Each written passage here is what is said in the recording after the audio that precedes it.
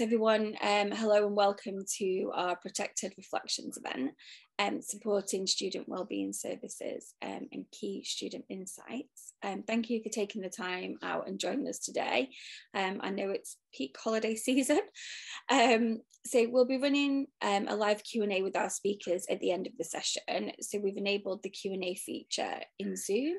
So if you have any questions at all, please just pop them in there.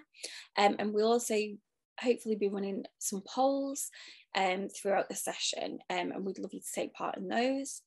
Um, I'm Lisa Ravenscroft, I'm the Communications Manager at ProtectED um, and I'm very pleased to welcome today's speakers, Billy Fitzjohn, who's the Senior Partnership Development Manager at Endsleigh Insurance Services and Jamie Boyle, who's the Partnership Development manager at Endsleigh Insurance. Um, so this morning we'll be discussing the structures and practice that Endsleigh have developed to support students and staff's mental health. We'll also look at the results from um, the Happiness Index report that Endsleigh um, has published in conjunction with the NUS to give us a glimpse into the current student feeling and a look at mental health support in action. Our speakers um, we'll first go through their presentation and then we have some questions and then we'll open up some questions to the floor. So um, Billy and Jamie, welcome. Thank you again for joining us. Um, do you want to start yeah. your presentation and I'll mute sure. Thanks, Lisa. Uh, hi, everyone. Lisa, it's just um, thinking we, we're not we're usually used to Teams over Zoom. We've got into the ha- habit of that, but I can't actually see um, anyone other than yourself and Jamie. Or is that normal for, for this webinar? Sorry. Yeah. Yeah, you okay. can't see you can't see them. It just says attendees. You can go on the attendees um, list and it'll tell you who's okay there. But it looks like someone might be having trouble, so I'll go and help them. Um, and you can crack on. Have you? Can you share your screen? Have you? Uh, just. If you go into. It's not letting me share screen at the moment. Sorry. If you're a co-presenter, you should be able to. Is there, is there a green thing at the bottom that says share screen? Yeah, I've got it now. Sorry. There we go. Brilliant. Yeah, that's all working. I'll I'll turn myself off now. Can you see the full presentation or is it my, my deck? Is it just the slide? We can see your full computer screen, so not the slide. Not the slide, okay. Bear with me two seconds. Okay, brilliant. You can see the slide there, yeah? Yes, yeah. Great. Is that the full? Um, I think you can see like the next slide in your notes. So I think if you go to... Oh, sorry. Yeah. slide settings and then maybe slideshow, I think. Yeah. Bear with me. Sorry, everyone. There we are. Can you see yeah, just the slide perfect. now? Perfect. we got there. Okay. So, uh, yeah, hi everyone. I was just saying at the start of this call, uh, at the start of the pandemic, we got used to using Zoom uh, and then we had to get used to using Teams. And then it's been a while since Jamie and I have actually used uh, Zoom. So we're just getting our getting our heads around around that. So uh, uh, yeah, hello everyone. Thank you for joining. As Lisa said, my name's Billy, I'm joined by my colleague Jamie. Um, together, we've been at Endsleigh Insurance Services for 11 years each. Having previously worked at a university and a students' union as well um, before I joined Endsleigh, so got an understanding for the, the, the sector and how universities and and the organisations within and around them are sort of made up. So, um, really pleased to be talking to you today about our student assistance program, but uh, sharing some real student insights uh, in terms of uh, the service and what we provide and how students are using it but a little bit around the general insight that we get from the market as well uh, around sort of well-being and safety that, that will hopefully uh, be of interest to you. So uh, just before uh, we we we um, get started, I did have a quick poll just again check if this works, Lisa. Um, are you able to to put the first poll up? It's already set live, so it's there if anyone people have been answering it. So oh, okay, great, cool. cool. You should be able to see it as well. Okay, I can't actually see it oh. right now.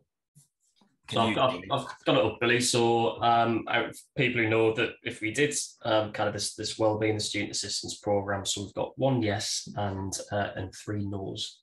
Okay, that's thank you for, for for for that. So yeah, we'll tell you a little bit more about what the program is and and and and and how we kind of, you know, got got into supporting partners in this way. But I suppose just to sort of start off, really, a little bit more around um, who we are at Endsleigh. So we were established nearly 60 years ago. Uh, we're actually founded uh, by students, so the National Union of Students, uh, and that was to actually create an insurance organization when it was extremely difficult for students to even be insured back then. So we actually founded almost 60 years ago. And we're very proud that today we're still endorsed and recommended by the National Union of Students.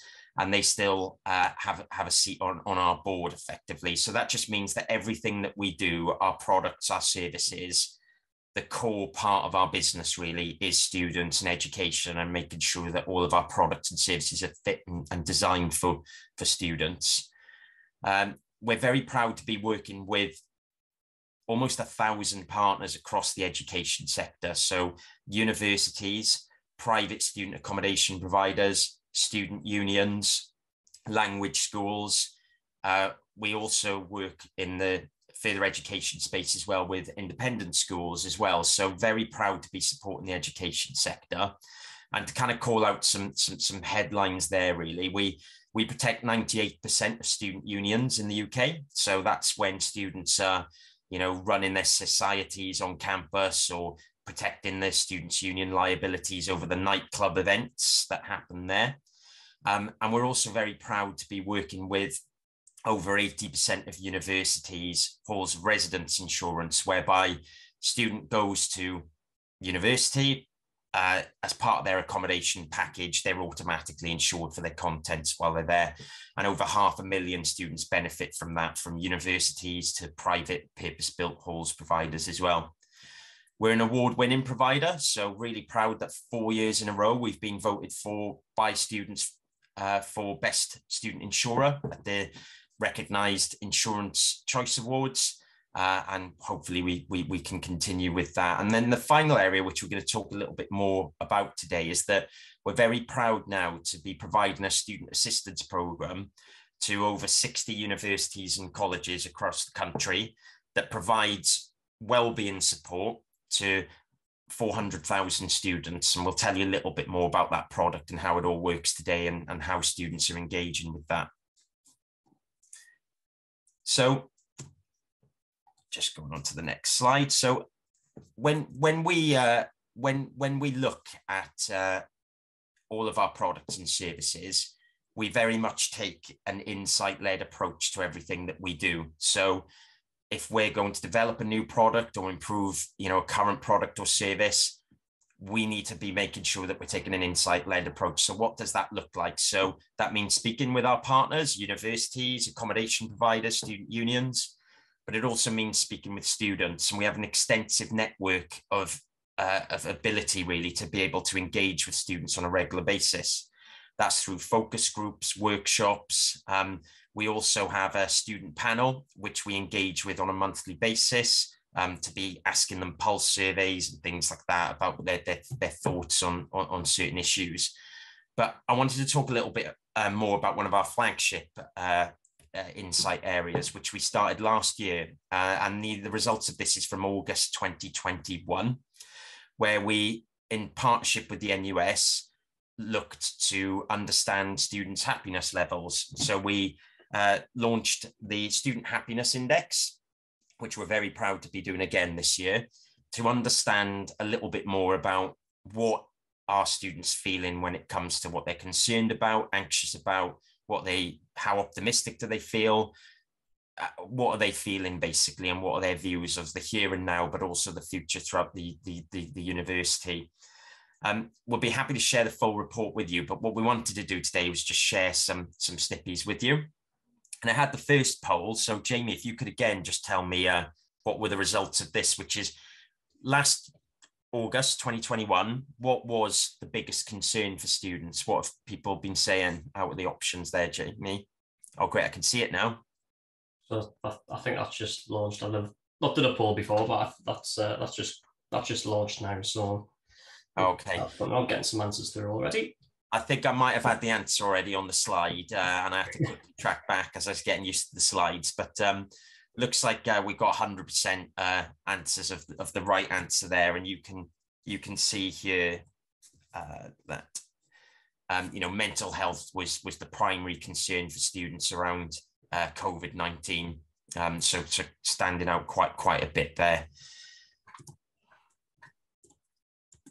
Uh, what we also uh, wanted to understand was what was actually causing students the most concern and, and, anxiety. And again, this was back in August 2021, and you can see the top three areas there. So um, the Black Lives Matter movement and racial equality and climate change be, being out there on top, but also uh, concern around women's safety. And you will rem- all remember that time uh, last year around the Sarah, Everard case, which um, was very prominent. So you can see there really materially standing out are those top four areas, really, with the final one being around leaving the EU.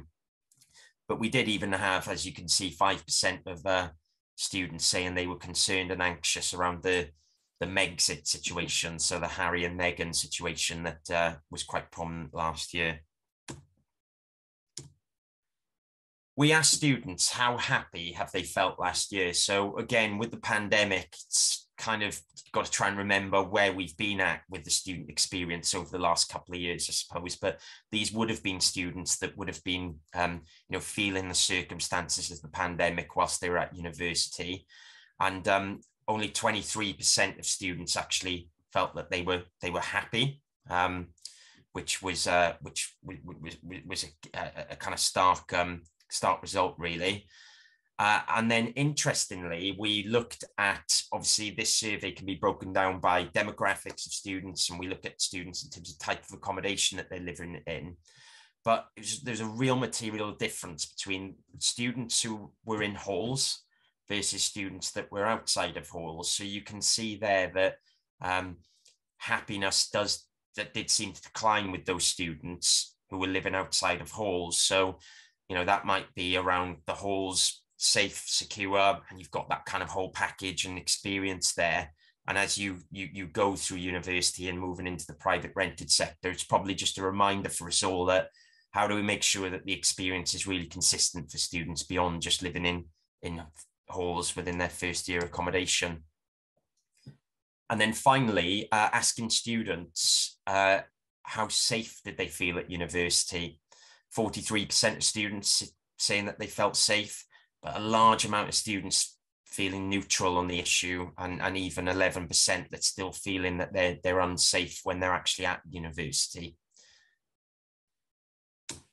So coming this year is our, our, our next happiness index and we're actually doing that right now. So we've done all of our questions and, and it is in the process of being delivered.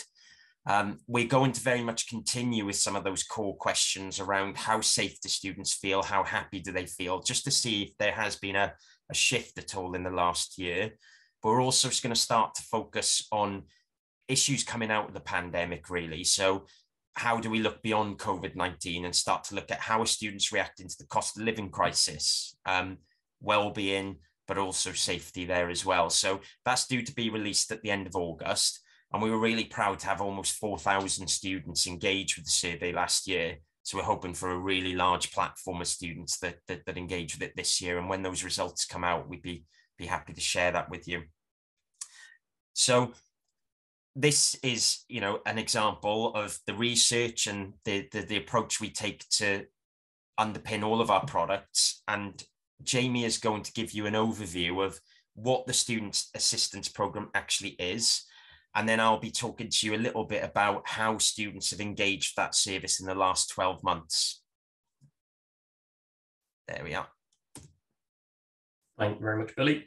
Um, so yeah, as, as, Billy said, it's very much a, an insight-led approach um, and, and, and, developing the student assistance program. We didn't just sit in a room and kind of try to come up with something ourselves. We travelled up and down the country speaking to people who um, you know work with work with students, work on student wellbeing to come up with something that will help to um, support existing services uh, and and you know and, and cover any gaps. So for us, this isn't about taking anything away from from from what you do. Um, it's about supporting and integrating with those existing services to relieve pressures. So there might be waiting lists for counselling, um, or you know a lot of students who need who need some support, or it might be covering you know potential gaps, whether that's being able to cover and support out of hours, you know, so after 5 p.m. and at weekends, or, or even outside of term time. Um, obviously students will, will, will still need support even if um, you know, it's the Christmas break or Easter holidays or, or whatever it might be. And, and working in um, a collaborative way to achieve that is, is really important to us. That's how it started and that's how it's evolved and we'll continue to do that. And it's about building kind of understanding, trust and, and confidence between us providing the student assistance program and the college or uni or, or, or accommodation or whoever it might need this in place. Um, and, it, and for us, it's about you know helping to raise awareness about mental well-being and and, and being proactive uh, and, and providing something that students can reach out to to get that support, um, which you know which which helps everyone in, involved really. I've just gone the next slide, please, Bill. Um, so this is an overview of what, what it actually is, what, what, it, what it does. And as Billy said, it'll come on to a bit of insight in terms of how it's being used. But the foundation of our student assistance program is that it provides unlimited access for students to a 24, 24 7 365 day uh, um, telephone helpline where students can receive in the moment support from um, accredited counsellors. So are loads of different issues that counsellors can support with. It might be that a student knows that they suffer from anxiety or depression and want to talk about that specifically, or they might not know what's wrong and they just kind of have this dark cloud hanging over them. So they just want to, you know, to get something off the chest or talk through it with somebody. And that's exactly what the, the, the counsellors are there for. Um, you know, it can be everything from physical health, mental health. It's, uh, you know, we try to capture a, kind of a broad range of issues that students can can talk about to reflect the you know the, the, diversity within within the student body as a whole. So being able to support students um, at different life stages with different circumstances from different backgrounds is, is, is, really important. So we want to make sure that every student feels comfortable uh, comfortable and being able to, to, to reach out and, and get that support. We don't divert any calls to, to any other country. We don't use bots or artificial intelligence or any answer machines or anything like that it's always a UK based human that, the students will interact with. Um, and we'll, we'll come on to, I'll, I'll, mention some of the kind of the digital stuff that we have included in this as well, but there's live chat and video calling um, in, included within that. And again, that that's um, that's that, that's a human. Um, we also have the option, as well as the 24/7 helpline, to include structured counselling. Um, so if that's required, we're able to do that, and that complements that in the moment emotional support that we're able to provide. And then we also have a solution um, for students who are based overseas, whether that's uh, UK students who are studying abroad or on placement, or international students who are studying from, from their home country. Then we also have a, an overseas student assistance program, which provides in-country support, something that's really difficult, and there's often a um, it's a there's a barrier to being able to provide that parity of service for UK students and students overseas because of all the different regulations and rules and and laws that are kind of surrounds being able to provide counselling support. So we've got a solution to be able to provide in-country support uh, for those students. Importantly, um, there's also support for staff available through this. So this is for any any staff who you know are, working with students, uh, and it may be on a weekend with reduced staffing levels that they've got a, a student that they need to support, but you're not quite sure how best how to best approach that.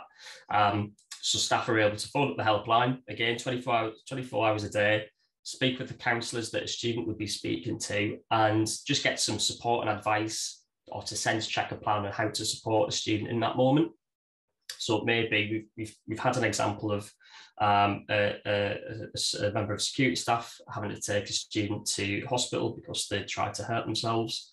Uh, and after they were checked, uh, had, their checkup, they're released back into the care of that um, of, of, of, the security team. uh, and weren't quite sure what the what the best approach was. Um, so they're able, in that instance, to be able to phone up the help the helpline just to get that reassurance. Maybe the counsellor speaks to the student themselves, or just provides kind of what the next step should be in the next couple of hours.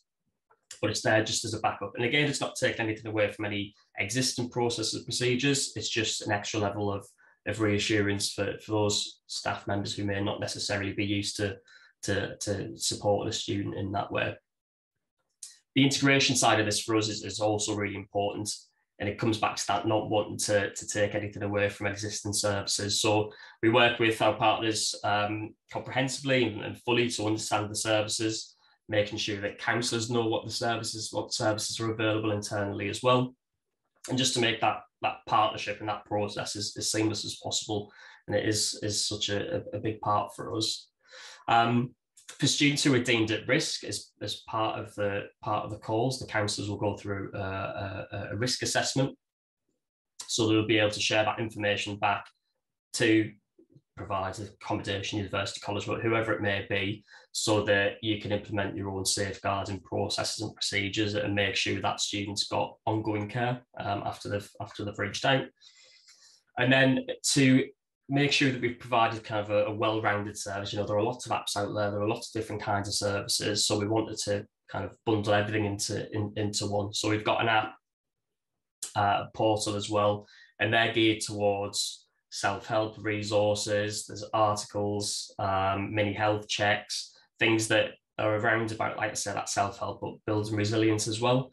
Um, so there's podcast interviews with well-known people talk about their own mental health, just trying to make support more accessible, I suppose, and, and, and, and being able to have that um, when, whenever the whenever the students need it through that, they can also um, live chat with a counsellor, they can request a call back, they can email, they can phone straight from the app, so they don't have to save the number necessarily. They've got the app, they've, they've got that support, and therefore they've got access to be able to, to, to reach out to a counsellor and, and, get the help that help that they need. Um, we've also got translation service available for any, any international students or students who, whose language, uh, English isn't their first language. We can uh, got translation service in over 240 languages uh, so they can you know effectively talk with a with, with a counsellor. It might be that a counsellor speaks the language, but if not, we'll be able to get a translator on the call to be able to facilitate that as well. And then we've got uh, deaf and hard of hearing um, support. We can make materials available in Braille. So it's just about taking um, taking away any potential barriers for students being able to, to get support. And we work with all of our partners to make sure that we're giving everyone a, a, a you know, fair access to to help um, when, whenever they need it. There's practical support as well in terms of financial, legal, medical information. So a lot of the time, practical information can be linked in with, with emotional support that's needed. Um, and the counsellors and advisors will work with the student to make sure they're getting all of the support they need. Sometimes they might thought about a, a, practical issue and that kind of triggered more of an emotional response. So the advisor will be able to do a kind of a soft transfer over to a counsellor to give them that in the moment support. And then we have um, through the network of counsellors, obviously a very diverse, um, diverse uh, uh, selection of counsellors on our, on our network who are able to support any underrepresented groups. So it might be students from ethnic minorities or, or LGBTQ plus students. We can match counsellors depending on what the student needs. Um, so if they, if they do need specific support, as long as it's therapeutically beneficial, it will help that student, then, then we're able to, to do that as well. So that's the that's the foundation. Appreciate a kind of a whistle stop tour. There's lots of lots of great things to it. That's the foundation of, of, of what it is and, and, and how it works. And then Billy's going to touch on some of the kind of key findings, if you like, some of the trends that we've seen and pulling out some what we think is quite interesting um, numbers in terms of what's being used and how it's being used. Thanks, Jamie. Yeah, so we we this is just pulling out some headlines of how the, the, the program has been used by students in the last 12 months. So we'll, ju- we'll just go through those now. And I think the, the thing to, to mention here as well is this is such an important element because it allows us to assess, you know, any trends or, or, or, emerging themes that come through so that we can further develop the, the product, but it also keeps our partners informed. So um, any partner on the student assistance program would have access to to, to, to MI to understand how the service is, is being used. Um, but it is a confidential service for, for those students, um, other than the risk protocols that, that Jamie mentions there. So I uh, just wanted to start with uh, calls to the, the helpline. So just some key insights around here. So uh, at the moment, 60% of students are, are actually using it, the, the helpline during core hours. So Monday to Friday, core university hours, nine to five, really, um, which I think is interesting in two ways. Uh, students are feeling that they can use the service during their university um, study day uh, and during their time at university, and that's kind of blending in with current services really well but also 40% of those calls are coming out of hours on weekends or late at night. So just demonstrating how important an out of hours provision really is for those students.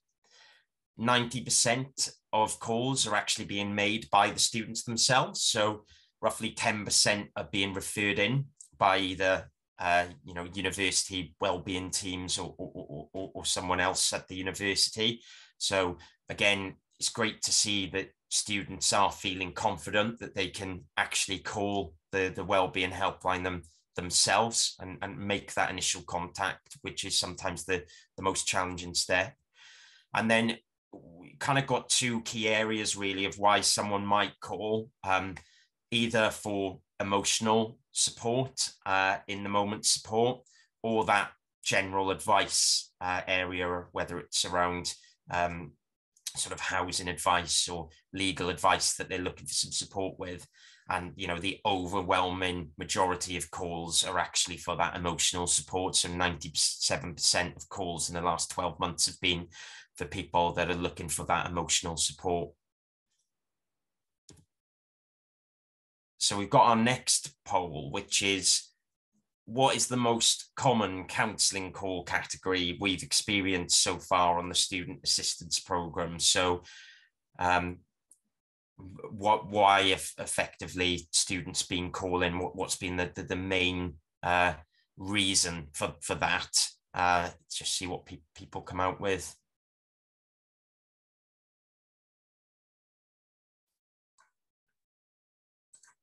So yeah, mixture of uh, results there. so we can we can see here that uh, that the top uh, three counselling core categories, anxiety again, kind of being materially much larger than than other categories, low mood and depression. So I think everyone uh, every everyone had that there. Um, anxiety and depression were, mentioned there.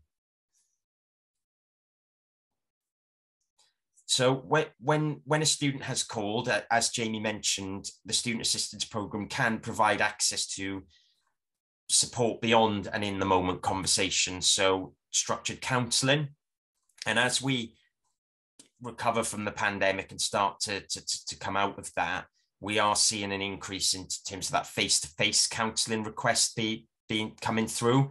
But from we're going to just focus now on the, the digital side of things. And an interesting stat is when when students are actually offered that digital counselling, they're offered the chance to either speak with the counsellor over the telephone or, or over a digital video, much like this, Zoom or Teams. And interestingly, it's very evenly split in terms of what students choose. So we haven't got any sort of anecdotal feed on that uh, at, at, the moment as to why that is, but it just shows interestingly that you know just over half of students are actually wanting to you know see their counselor and engage with them digitally over, over the screen there even if they haven't got access to that kind of face-to-face service which um, can be included we talked earlier about the 3% of calls being around advice so uh, i think um, uh, you know, it's important to note here that a student may just be looking for some just general advice, anything really specific. Um, that that need specialist advice. The the um, the counsellors and the advice uh, support uh, team would always signpost them to the appropriate place. Um, and that might be something at the university or something elsewhere, depending on what um, is, is part of your kind of uh, your portfolio basically of information that you've provided us as part of the student assistance program, where to signpost such specialist um, queries. But as you can see here, um, the, the top advice call categories we get, the top one being around housing and landlord uh, challenges, uh, then around course um, and, and rights around that, uh, around study, their, their jobs whilst they're at university, any part-time jobs that they have, and then immigration, uh, an interesting one there as well for the, those advice calls. In terms of demographics, you can see here, um, you know, quite quite interesting. I think the thing that sort of stands out for uh, for us at the moment is, you know, materially lower uh, sort of percentage of male students accessing the service over female students. So, you know, is there more work that we can be doing there to be encouraging male students to be reaching out and using the service? Because some of those challenges we mentioned earlier around, you know, feeling anxious, not feeling safe, and not necessarily feeling happy will be spanning across the gender genders, not just for, for females. Um, but then interestingly, nearly a third of students aren't, aren't given a gender. So it's interesting to see that um, of what's coming through there.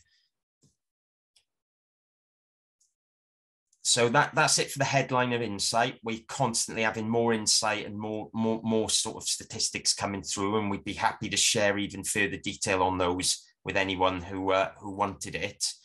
I suppose just to finish is just an overview of some of our partners. So, as mentioned, we're very proud now to be providing the student assistance program to over 60 universities and colleges. And many of these universities and colleges we've been working with over a, over a long period of time on other products and services. Uh, but we're, we're, we're, very proud to be protecting uh, almost 400,000 students now via, via the student assistance program.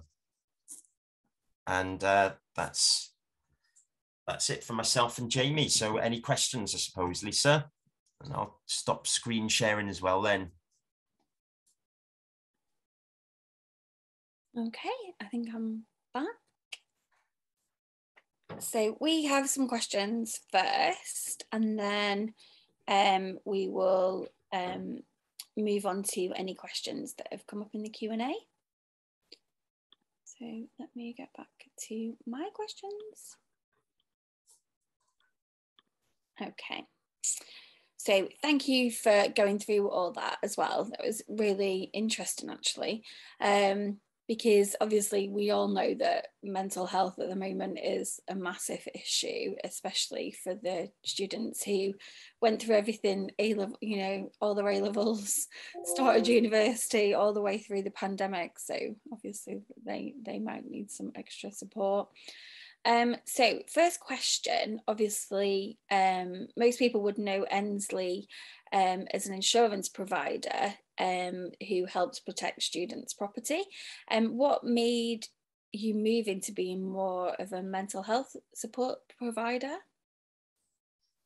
Yeah, sure, I can take that one. So um, I think that the, the key thing here is that uh, several years ago, working with universities, accommodation providers, student unions, it was evident that our partners that, that, that we, we were working with then. Were all experiencing similar challenges around supporting student well-being and having an adequate provision that that complements what they what they were currently doing and are currently doing.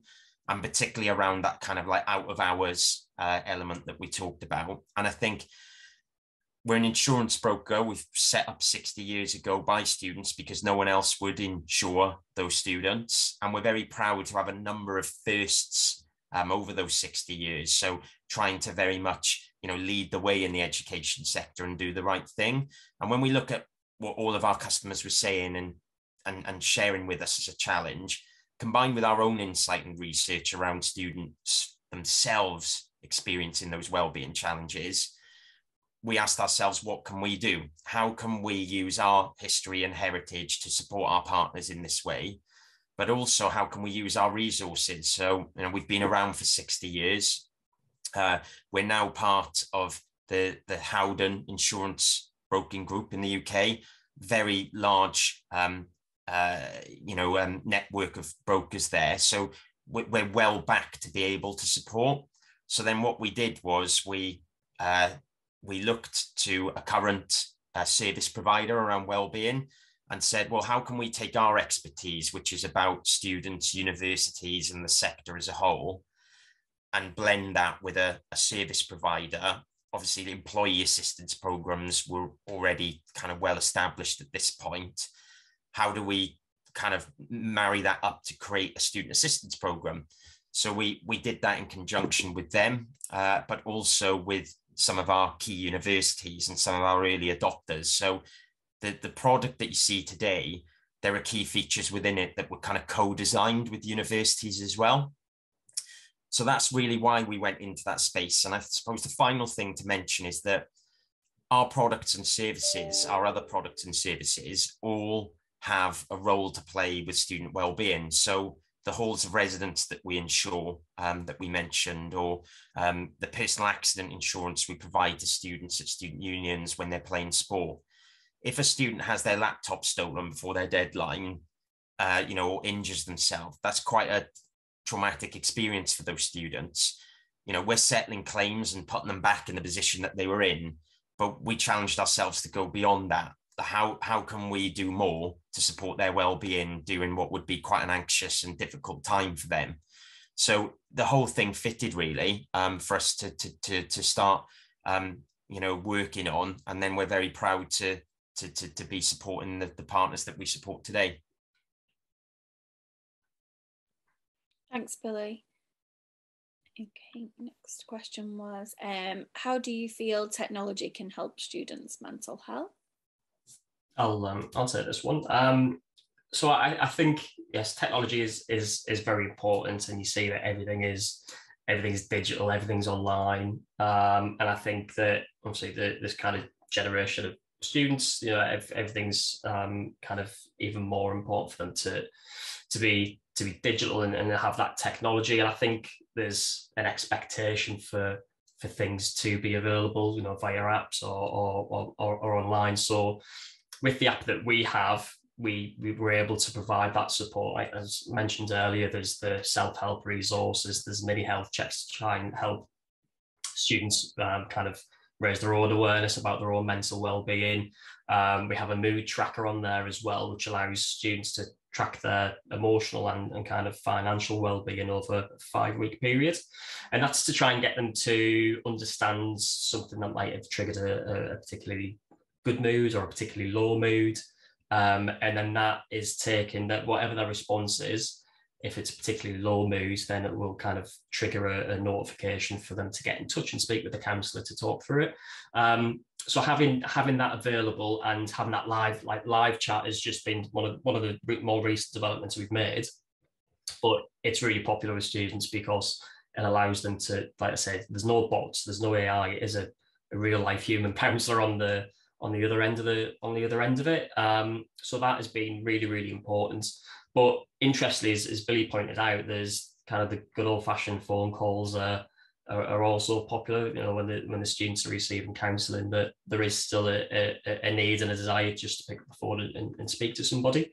Um, so it's it's getting the balance right between what we you know making sure everything's available, but not just you know kind of keeping a bit of analog, if you like, in, a, in, in the kind of increasingly digital world. That sounds a bit um, cliche that, but it's just making sure that there is, is there is that support available, and making sure all students have access to, to the to the service through a method that they feel most comfortable with. But the, the beauty of the technology is that it is, you know, in, in a student's pocket, the the live chat or the video call or the helpline, the, the email, that, that is available to them, you know, just just in the pocket. So making sure that continues is um, is going to be really important. I think you're right. I think um, speaking to people as well is is good in the way that it can often make them t- start talking about something else that they weren't gonna, you know, like talk about or they hadn't realised, you know, was causing them a problem really. Yeah, so yeah absolutely. And it, sometimes. You can see on the see on the flip side that obviously with, with the social media and things like that, just how much pressure that that, yeah. that can put on people. Um, so there's there's obviously there's you know there's there's kind of pros and cons to to, to the ever increasing technology that that's that, that's available. So it's as long as we're aware of that and we're able to educate students um, and raise that that, that self awareness so they understand you know if they are feeling low there is there, there is someone to talk to. There's other people going through it. Um, so that that support is available. Because i do think loneliness can be a really big problem because um, everything is done on social media and you know all these pictures of people living the best lives when then you know it's not realistic and yeah, it's not the reality cases. it's not actually what their lives are like I think it can put a lot of pressure on students, definitely. Well, oh yeah, yeah, and, any, and everybody really. Um, and thanks for that. So um, Q3, um, what um, feedback from the happiness index surprised you when you you got that back? Yeah, I can cover this. I think there, there wasn't anything that was necessarily um, a huge surprise. Obviously, thinking about the time that we were asking students and the journey that they'd been on. Um, I suppose, you know, for many years now, we know that mental health has been a challenge across society and for students. So, you know, seeing that wasn't a surprise in terms of that that that kind of leading the way as a, as a concern there, but it more just reaffirmed that students are still feeling that as a as a as a big issue. Um, I think it was the material difference of those students in second and third year living outside of accommodation. I say second and third year; they could have been first years. The you know the difference between you know living outside of halls of residence and living in. Um, you know, we we know that the huge amount of work that goes into a good quality halls of residence provision, and and it's, it's just looking at that and thinking, how do you make sure that for all cohorts of students, no matter where they live, where they study, how is that experience consistent? And we know that's a challenge that all universities can sometimes face. Yeah, definitely. Okay, um, I've just got a couple more. Um, how do you see the student assistance program developing further in the future? Good question. I think um, it really depends on on on, on what unis, colleges are identify what what kind of the needs are and, and what students need. Um, a lot of the work, how, how, we've got to this position now, and a lot of the success and, and why it has worked so well with, you know, a, a, whole range of institutions, is that we've collaborated with them and, and being able to develop in response to, to, to what's needed. So things like the risk protocols, being able to share that information back to a university when a student's at risk. That was something that we did in partnership with the, with the, with the university.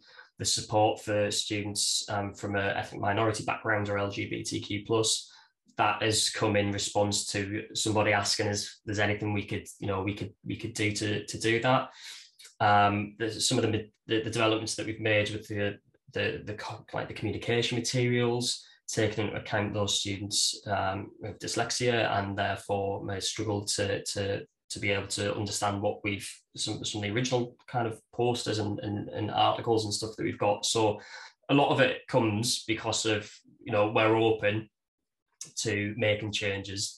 It's, it, it, it's not a finished product. I don't think it ever will be because it just constantly, constantly evolves. So I think some of the changes may be you know, expanding the ways in which students can access the access support, maybe new pathways. That there may be a new way in which we can integrate um, into systems with it with the university to make that data sharing even more um, even more seamless. Um, it may be that we change the the, the counselling model approach, um, but I think the, the, the beauty of it is is that it you know it can work for a, a university with forty thousand students or a, a, college with with you know 200 students. It's it's a, a, kind of a framework that can be expanded or or, or decreased or however it needs to be.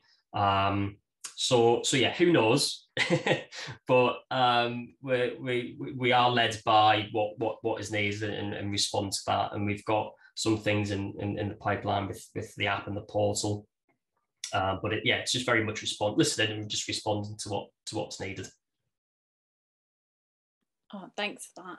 Um, so um, last question from from me um, is if you could, um, I think you might have covered this actually, but um, can you tell us more about who provides the counselling to the students? Yeah, yeah, of course. So it, it's it's it's not not you know it's not us, not me me and Billy or anything like that. But we we work with um, Health Assured, who people may well have heard of. They're the largest uh, independent um, assistance program provider in the UK. So they're the ones who've got decades of experience in providing counselling and, and, and well-being support. So we teamed up with them. It was, I think it's about three three plus years ago now to co-develop the student assistance program. They are a, a big employee assistance program provider, but they've got the kind of the, the foundations and the infrastructure to be able to develop and deliver what what we wanted.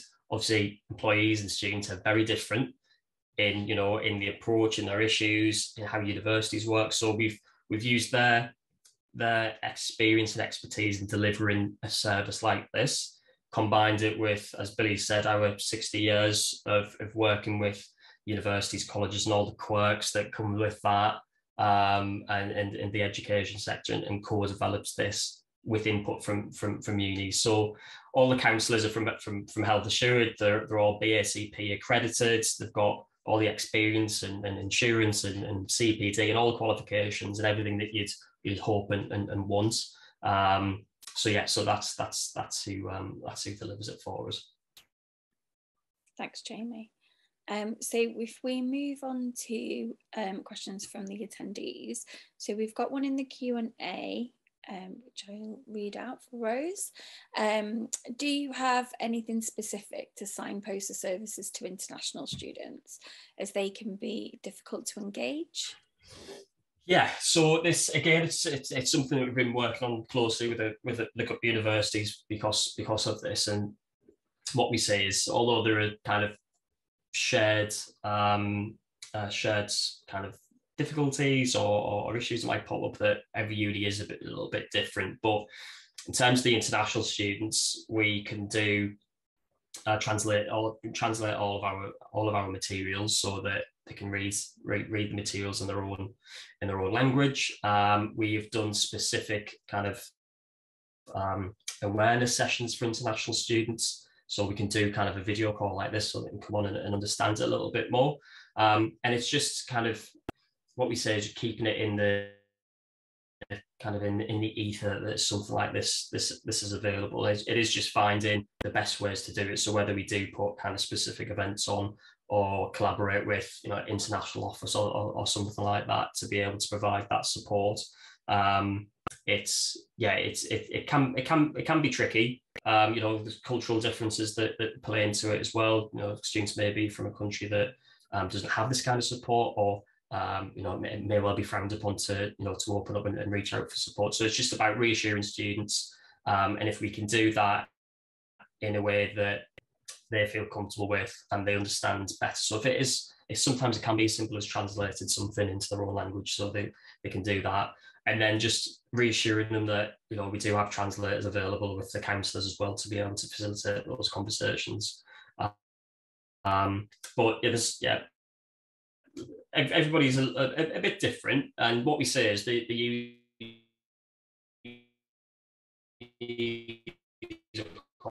whoever it is, where as I say we're always we're always you know we're all ears, um, and we'll just find the best way, and we'll just try trial things as well. It's you know we'll give something a go. If the engagement increases, great. If not, we can try something else. Thanks, Jamie. And it's so true that we've just done um, a a big um, survey with international students actually.